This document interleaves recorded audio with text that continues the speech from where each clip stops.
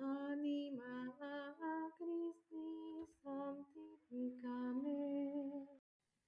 Sal de este mundo, alma cristiana, en nombre de Dios Padre Todopoderoso, que te creó en el nombre de Jesucristo, Hijo de Dios vivo, que padeció por ti, en el nombre del Espíritu Santo, que en ti se infundó, en el nombre de los tronos y dominaciones, en el nombre de los principados y potestades, en el de los querubines y serafines, en el de los patriarcas y profetas, en el de los santos apóstoles y evangelistas, en el de los santos mártires y confesores, en el de los santos monjes y ermitaños, en el nombre de las santas vírgenes y de todos los santos y santas de Dios, sea hoy paz tu descanso y tu habitación en la Jerusalén celestial.